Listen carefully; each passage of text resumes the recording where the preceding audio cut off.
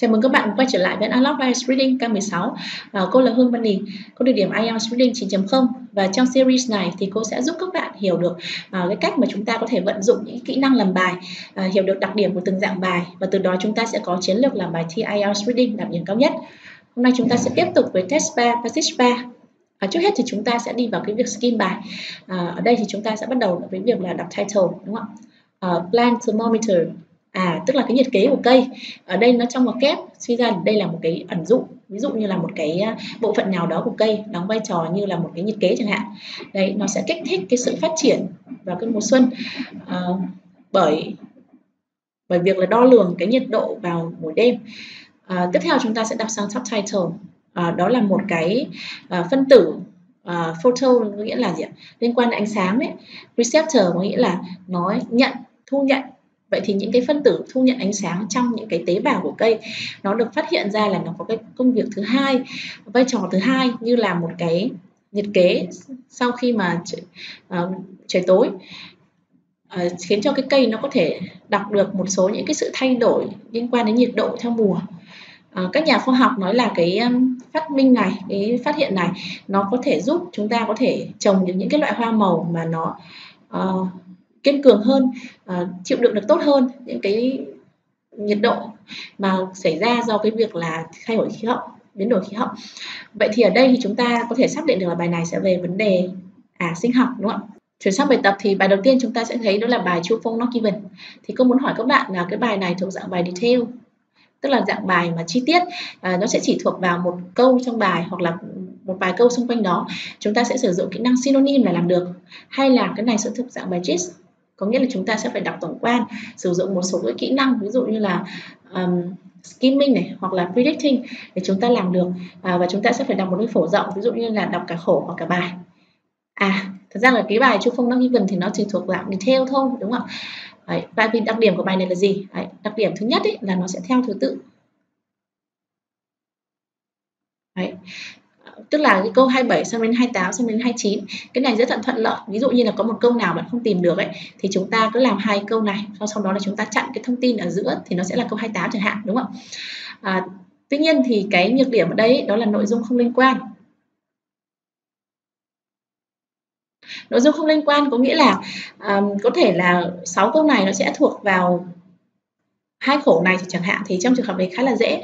Tuy nhiên thì phần lớn các trường hợp ấy thì câu 27 ở đây chẳng hạn câu 28 tận dưới này 29 ở đây xong 30 31 ở tận dưới này chẳng hạn. Tức là nó sẽ rơi vãi xung quanh bài và như vậy tìm cái bài này khá là mệt. Đấy. Ok vậy thì đó chính là hai cái đặc điểm của cái bài true phong not given. Bây giờ chúng ta sang cái dạng bài tiếp theo. À, dạng bài tiếp theo ở đây sẽ là dạng bài matching. À, information. Dạng bài matching information thì uh, theo các bạn thì nó sẽ thuộc bài detail hay là bài gist này. À, ở đây thì nó sẽ thuộc dạng bài gist bởi vì nó sẽ yêu cầu mình một cái kỹ năng đó là kỹ năng tưởng tượng. Không chỉ đơn giản là các bạn chỉ cần tìm synonym là được mà cái này ấy, nó sẽ uh, bắt các bạn tưởng tượng thêm một chút nữa. Ví dụ như là trong cái trường hợp ở đây nó bảo một công ty chẳng hạn thì bên này nó sẽ là Deloitte hoặc là uh, Google chẳng hạn. Tức là mình sẽ phải tưởng tượng cái loại thông tin mà mình sẽ phải tìm thì mình mới làm tốt được. À, nếu mà các bạn chưa rõ về kỹ năng tưởng tượng này ấy, thì các bạn có thể tìm trong phần description thì cô sẽ có một cái video riêng nói về dạng matching information. Um, đặc điểm của cái dạng này ấy, là nó không à không theo thứ tự và cái việc không theo thứ tự thì khá là mệt ha. Bởi vì có thể là câu 33 sẽ thuộc khổ C nhưng mà 34 thì thuộc khổ A chẳng hạn 35 thuộc khổ F. Kiểu đó tức là nó sẽ xào xáo xung quanh bài và làm khá là mệt. Vậy thì với hai cái đặc điểm thứ nhất là phải tưởng tượng Đấy, thứ hai nữa là không theo thứ tự. Ờ, lại còn thuộc dạng bài GIS nữa nên là thường thì cái dạng bài này ấy, chúng ta nên để sau cùng các bạn ha. À, chúng ta không nên làm trước đâu. Chuyển sang cái bài thứ ba ở đây thì chúng ta sẽ thấy cái bài này thuộc loại là sentence completion đúng không liền câu. Vậy thì cái dạng sentence completion này nó thuộc dạng detail hay là dạng gist các bạn nhỉ? À nó cũng sẽ là một cái dạng bài detail đúng không ạ? Chúng ta chỉ cần chủ yếu là kỹ năng synonym. À, ưu điểm đầu tiên của nó ấy là nó theo thứ tự. À, theo thứ tự thì cũng giống như chu phong 38 xong đến 39 xong đến 40. Tuy nhiên thì nhược điểm của cái bài này ấy, đó là nó nội dung sẽ không liên quan À, trong các bài mà liên quan đến điển ấy, thì đây là bài duy nhất mà nội dung không liên quan. Tức là có thể 38 là một chỗ 39 là một chỗ xa xa và 40 sẽ nằm một chỗ xa xa khác. Đấy. còn nếu mà các bạn gặp những cái dạng như kiểu là summary hoặc là cái dạng table chẳng hạn thì nội dung nó sẽ liên tục thì những dạng đấy nó sẽ dễ hơn. Ok bây giờ thì giữa ba cái này là chúng ta sẽ làm bài nhạc trước. À, theo cô thì các bạn nên bắt đầu với những bài detail tại vì bài detail nó dễ hơn làm hơn rất nhiều so với dạng bài chess và giữa hai cái bài detail này thì chúng ta đánh giá qua đều không theo thứ tự và nội dung không liên quan. Tuy nhiên thì cái bài Chu Phô này thì mình nhìn qua có một số câu ví dụ như Cambridge này trong câu 27 hoặc là 2050 trong câu 28 dễ tìm. Đấy thì chúng ta nên bắt đầu từ câu này trước đi bởi vì cái này dễ tìm. Đấy, như vậy là Chu Phô xong rồi đến điền và cuối cùng sẽ là matching information. Ok. À, bây giờ thì chúng ta sẽ đi vào chi tiết. Ở câu 27 này thì chúng ta sẽ có từ Cambridge dễ tìm bởi vì nó là viết hoa đúng không ạ? Và có thêm một cái từ nữa đúng không ạ? Và thermometer molecule. À, ok, vậy thì cái này cũng là trong thuật ngữ thì nó cũng dễ tìm. Câu 28 thì có 2050. Câu 29 thì sao? À có từ wheat and rice. À hai cái này là hai cái keyword thường thôi nhưng mà khả năng cao là sẽ không bị paraphrase đúng không ạ? Chả ai bị paraphrase từ lúa mì và từ gạo cả đúng không ạ? À, những cái chữ từ khác đi. À Câu 32 cũng có một cái từ rất là dễ tìm. Như vậy chiến thuật của mình ấy thì chúng ta sẽ làm câu 27 28, 29 và 32. Đấy, còn lúc sau thì chúng ta sẽ đi tìm câu 30, 31 thì dựa trên việc chặn đầu, chặn cuối ở câu 29 và 32 sau. Ok, bây giờ chúng ta sẽ đi vào câu đầu tiên. Đó là chúng ta phải tìm từ Cambridge và cái thuật ngữ này. Thì sang bên này may mắn quá thì nó ở ngay cái phần của, của A luôn rồi. Ok, như vậy đây là câu 27 đúng không ạ? Sau khi xác định được cái vùng đọc là chỗ này rồi. Chúng ta sẽ đọc chính cái câu này. Thì chúng ta sẽ quay lại câu 27 xem là cái keyword nào là keyword hiểu. Trọng tâm mà người ta có thể lừa mình chung phong nó given phát hiện của những nhà khoa học ở Cambridge về cái um, về cái phân tử nhiệt kế này ấy, thì nó gây ra cái sự surprise đúng không? gây ra sự bất ngờ đối với những cái nhà khoa học khác. Vậy thì quan trọng đây là người ta đang nói về cái thái độ của các nhà khoa học khác đối với cái phát hiện này đúng không ạ? Vậy thì trường hợp chu sẽ là người ta à người ta surprise. Trường hợp false thì là người ta chả surprise gì. Còn trường hợp not given là không đề cập đến cái thái độ của những cái nhà khoa học khác. Đúng không? Bây giờ chúng ta sẽ đọc sang bên này. Một cái international team đúng không? Uh, of scientists một cái nhóm những cái nhà khoa học quốc tế uh, được dẫn đầu bởi cái trường đại học Cambridge đã phát hiện ra rằng cái phân tử uh, nhiệt kế trong cây nó khiến cho chúng có thể phát triển dựa trên cái sự thay đổi nhiệt độ theo mùa. Thì các nhà khoa học phát hiện ra rằng là những cái phân tử này tên là như này được sử dụng bởi cây để có thể uh, phát hiện ra cái ánh sáng trong ban ngày. Uh, thực tế thì nó sẽ thay đổi cái chức năng trong bóng tối để trở thành một cái đo lường nhiệt độ gì đấy đúng không cái mà sẽ sẽ đo lường cái đo lường cái nhiệt độ của ánh sáng. Đọc cái này mà chưa thấy ấy, thì chúng ta có thể đọc thêm sang cái câu đằng sau. Cơ mà tuy nhiên thì câu đằng sau thì nó cũng không đề cập gì đến cái thái độ của các nhà khoa học khác. Vậy thì quay lại câu 27 ở đây thì chúng ta đã đọc hết rồi. Không có đúng không ạ? Vậy thì đáp án ở đây sẽ là not given. Ok chuyển sang câu 28 à, chúng ta phải tìm 2050 à, 2050 thì bây giờ chúng ta sẽ phải đọc xuống dưới này xem nào. À đây 2050 như vậy chúng ta sẽ thấy là câu 27 khá là xa câu 28 ha Ok, à, bây giờ chúng ta sẽ quay sang bên này xem là keyword hiểu là gì này. À, cái mục tiêu cho những cái sản lượng nông nghiệp vào năm 2050 ấy, có thể sẽ bị miss. À, có thể người ta sẽ không sẽ không thể nào đạt được cái mục tiêu này. À, vậy thì chúng ta sang bên này chúng ta sẽ đọc chính cái câu mà chứa 2050, đúng không ạ? À, nó được ước tính rằng là cái sản lượng nông nghiệp sẽ gấp đôi vào năm 2050 nhưng mà cái việc thay đổi khí hậu ấy nó là major threat à tức là nó là cái gì ạ nó sẽ đe dọa đây là cái ờ, đe dọa chính để có thể đạt được cái này. À, vậy thì bên này thì bảo là đấy là sự đe dọa chính. Còn bên này thì bảo là có thể nó sẽ bị miss có thể không đạt được. À, ở đây thì chúng ta thấy có từ could đúng không ạ? Là có thể thôi chứ người ta cũng không nói gì chắc chắn là sẽ là chắc chắn sẽ miss mà đây chỉ có thể thôi. Vậy thì đúng không ạ? À đúng đúng không ạ? Tại vì cái từ có thể kia nó khiến cho cái câu này trở nên mềm ra đúng không tiếp theo là chúng ta sẽ tìm wheat and rice mà may quá nó ở ngay bên dưới rồi. Đấy, hai câu này nó liền nhau. Ok à, quay lại bên này. À, wheat and rice là lúa mì và gạo đúng không? Thì nó sẽ suffer from đúng không nó sẽ chịu nó sẽ chịu đựng gọi là nó sẽ chịu ờ, thiệt hại à, bởi cái sự tăng lên trong nhiệt độ. À tức là nếu như mà nó bị thiệt hại là xấu ấy thì là đúng. Còn nếu mà nó được uh, lợi ích ý, thì sẽ là sai đúng không ạ? Còn không nói gì về thiệt hại hay lợi ích thì sẽ là not given. Đây, sau bên này thì chúng ta sẽ đọc chính cái câu mà chứa keyword này. À, những cái hoa màu chính như là hai cái này ý, thì nó là sensitive to. À nó rất là à, nhạy cảm đối với những cái nhiệt độ cao. À nhạy cảm nghĩa là gì nhỉ? Kiểu nhạy cảm là dễ uh, chỉ cần nhiệt độ cao một chút là nó sẽ bị hỏng đấy đúng không ạ? Vậy thì sang bên này thì nó sẽ bị suffer from a rise in temperature đúng không ạ? À đúng rồi cái nhiệt độ cao nó bị hỏng. Vậy thì chỗ này sẽ là câu true và tiếp theo là chúng ta sẽ chuyển sang câu 32 luôn. Thì cái từ này là một cái từ mà chắc là một cái loại cây hay là gì đó một cái thuật ngữ đúng không ạ? Chúng ta sẽ không bị paraphrase đâu nên chúng ta tìm sẽ nhanh. Bây giờ chúng ta sẽ tìm xuống dưới này tìm cái từ này. Ok mình đã tìm thấy cái từ là này ở đây rồi. Đấy, thì chỗ này khả năng cao sẽ là 32 à, bây giờ chúng ta sẽ quay lại bên này đọc cái thông tin này vậy thì ở đây mình sẽ đọc ha. Nó sẽ thay đổi cái trạng thái của nó à vậy thì quan trọng là có thay đổi không? Đúng không ạ? Uh, at the same speed day and night. À như vậy là có thay đổi không? Và nếu có thay đổi thì là thay đổi at the same speed hay là different speed? À tức là tốc độ khác nhau hay tốc độ giống nhau? Ở đây mình sẽ đọc chính câu này thử xem ha. À, cũng giống như là thủy ngân nó sẽ tăng lên trong cái nhiệt kế thì cái tỷ lệ mà cái này nó revert to là thay đổi uh, quay về cái inactive state là cái trạng thái mà uh, không chủ động vào buổi đêm ấy thì là một cái ờ, đo lường một cái chỉ số đo lường trực tiếp của cái nhiệt độ. Đọc câu này xong mình vẫn thấy chưa chắc thì mình có thể đọc lên trên đúng không ạ? Đọc lên trên thì mình lấy thử this is đúng không ạ? Thì, thì đọc lên trên nữa như vậy là đọc cả khổ. Đến đêm ấy thì nó là một câu chuyện khác thay vì cái trạng thái rapid deactivation uh, sau khi mà mặt trời nó tặn xuống thì những cái phân tử này thì dần dần chuyển từ cái active sang inactive state. À vậy thì mình quay lại ha thứ nhất là nó có thay đổi cái state là thay đổi trạng thái không? Thì có đúng không ạ? Tại vì cái chỗ này nó đang chuyển từ active sang inactive. À, câu hỏi thứ hai đó là nó có at the same speed không? Vậy thì không đúng đúng không ạ? Bởi vì ở đây nó là rapid đúng không ạ? Tức là nhanh. Cái chỗ này thì lại gradually change. Đấy từ từ từ từ chuyển sang như này. Như vậy thì nó sẽ là không phải là same speed. Ok, vậy thì đây chính chính xác là cái chỗ thông tin mình cần là câu 32. Đúng là nó change state thật nhưng mà nó không same speed đúng không ạ? Vậy thì cái câu này sẽ là sai.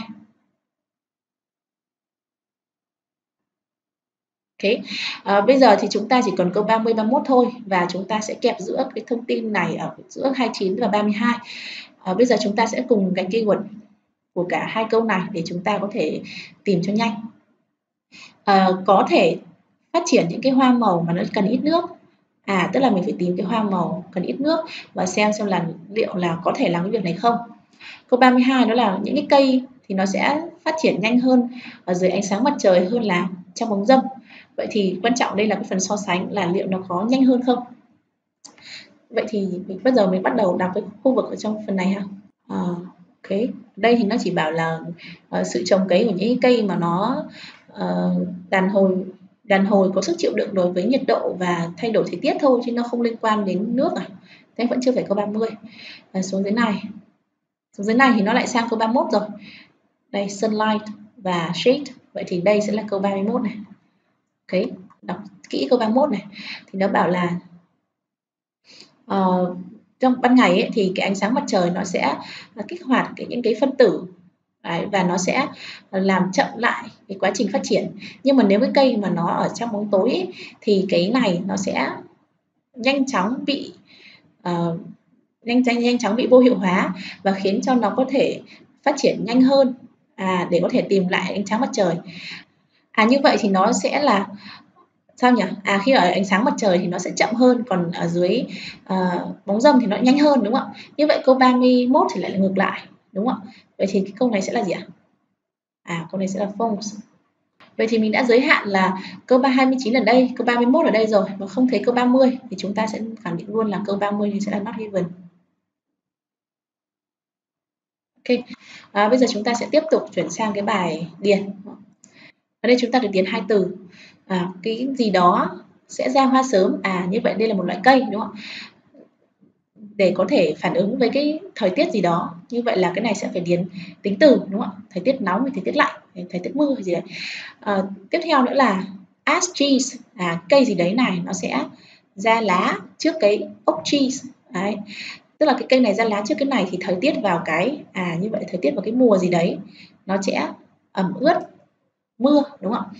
và câu 40 đó là những cái nghiên cứu mà được ừ, tiến hành bởi cách mà sử dụng một cái loại gì đó à trong trường hợp này là chắc là một loại cây gì đó tại vì bài này về sinh học đúng không ok bây giờ chúng ta sẽ chủ yếu là làm với câu 3 38 và chín trước tại vì có những từ như này rất là dễ tìm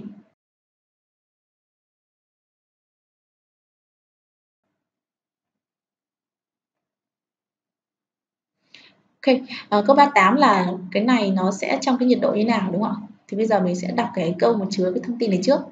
À, những cái loài sinh vật khác, ví dụ như cái này thì nó có một cái sự nhạy cảm đối với à, nhiệt độ một cách rất là đáng kể và nó sẽ mọc hoa hàng tháng sớm hơn, đấy, sớm hơn hàng tháng trong cái à, warm winter là gì ạ? Cái thời tiết mùa đông ấm. Vậy thì quay lại bên này thì mình cần một cái tính từ để nói về weather này. Vậy thì mình sẽ điền từ nào ạ?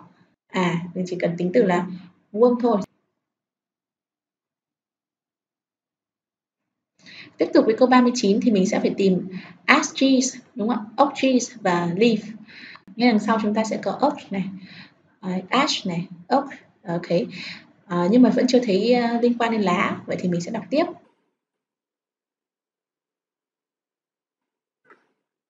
À, đây, living À, vậy thì cái chỗ này mới là cần đọc ha à, bắt đầu đọc từ đây này một cái mùa xuân và ấm ấy thì theo sau sẽ là khả năng cao sẽ là một cái mùa hè nóng và nó sẽ dẫn tới là cái cây ốc này nó sẽ ra lá trước cây ash. Đấy. Còn một cái mùa xuân và lạnh ấy thì nó sẽ ngược lại. À, như là những cái người anh người ta biết cái điều này ấy, thì đó là một cái mùa hè mà lạnh ấy thì khả năng cao nó sẽ là một cái mùa hè mà rain shock.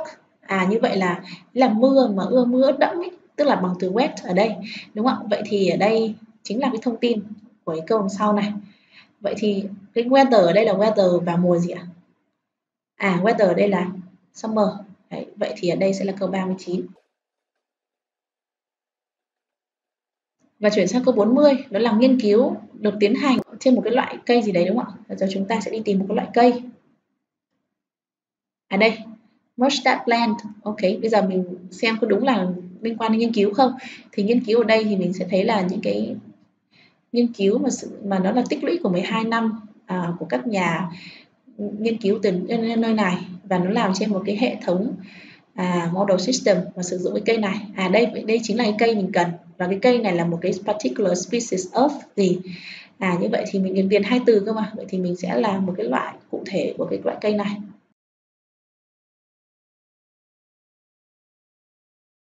Ok, à, sau khi chúng ta làm xong rồi thì chúng ta sẽ làm nốt cái bài cuối cùng đó là bài matching information. Ở bài này ý, thì thường thì chúng ta sẽ làm được khoảng tầm một nửa số câu. Có thể làm được luôn dựa trên những cái thông tin của những bài khác mà chúng ta đã đọc. Còn một nửa còn lại thì chúng ta sẽ đọc nốt những cái thông tin chưa đọc trong bài để làm. À, ok. À, bây giờ chúng ta đọc từng cái này. Ờ, Linh đề cập đến các nhà chuyên gia người mà sẽ uh, tận dụng sử dụng được những cái research findings là những cái kết quả nghiên cứu. À như vậy thì mình có thể link ngay đến cái này đúng không? Link ngay đến cái khổ mà chúng ta vừa học. Uh, specialist ở đây chính là những người scientist chuyên gia ở đây chính là những nhà khoa học này từ những cái nơi như này. À, vậy thì bây giờ chúng ta chỉ tìm nốt một cái nữa là make use of research findings là người ta sử dụng những cái research findings này để làm gì? À, những cái phát hiện ừ, trong những cái loài trong những gen của những loài cây này có nghĩa là các nhà khoa học có thể uh, nhanh chóng phát hiện được những cái gen mà nó thể kiểm soát những cái uh, quy trình trong những cái loài cây hoa màu và sau đó có thể thay đổi những cái hoạt động này sử dụng những cái gì đó của mô của phân tử. Đấy. À, xuống dưới này thì họ bảo là họ đang làm việc trên những cái khía cạnh uh, thực hành của cái uh, sinh học của cây và cái này sẽ giúp cho họ có thể có được những kiến thức mới. À vậy thì đây chính là những cái uh, make use of research findings đúng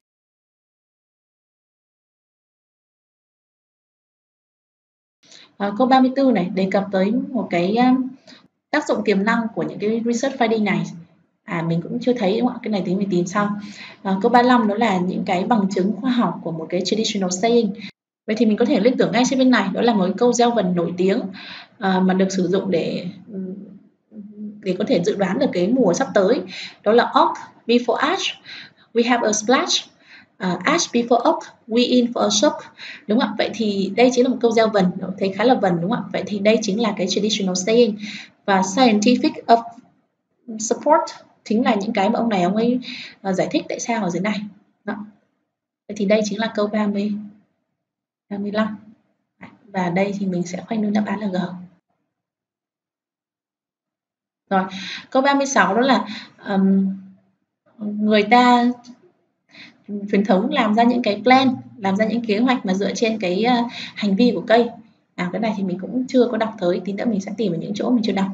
À, nơi mà cái research đã được report à nơi mà cái nghiên cứu này nó được công bố thế thì mình có thể quay thẳng lên trên này. Trước đây mình đã đọc ở đây rồi.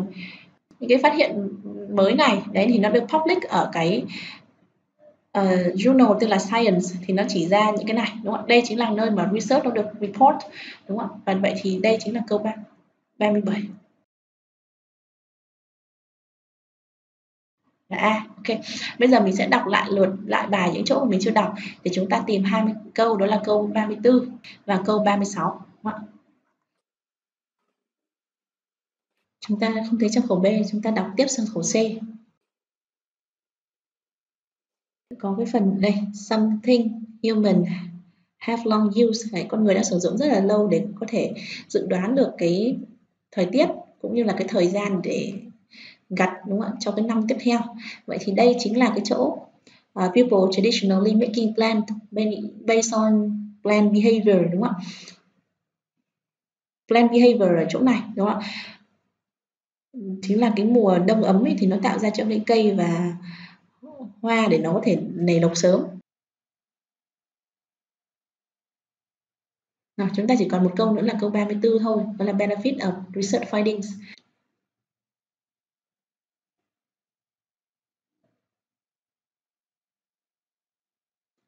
À đây chúng ta sẽ có thể uh, help us breed tougher crops. Những cái hoa màu mà nó nó vững nó cứng rắn hơn nó kiên cường hơn. Đấy, đọc xuống dưới này xem nào đây phát hiện ra những cái phân tử này thì nó sẽ khiến cho cây chuyển có thể sense có thể cảm nhận được cái um, nhiệt độ. Cái mà nó sẽ có một cái tiềm năng đó là nó sẽ tăng tốc được cái việc mà chúng ta sản xuất ra những cái cây mà nó kiên cường với những cái những cái stress về nhiệt độ và à, thay đổi khí hậu. Vậy thì ở đây chính là những cái uh, potential benefit. Vậy đây là câu 34 thì mình sẽ đánh dấu đây là câu 34 là đáp án D. Vậy thì chúng ta đã cùng nhau giải xong cái test 3, test 3 trong quyển K16. Thì theo mình đánh giá thì cái test này nó khá là dễ so với những cái bài test truyền thống khác mà chúng ta sẽ gặp những dạng bài khó hơn, ví dụ như là multiple choice hoặc là matching heading.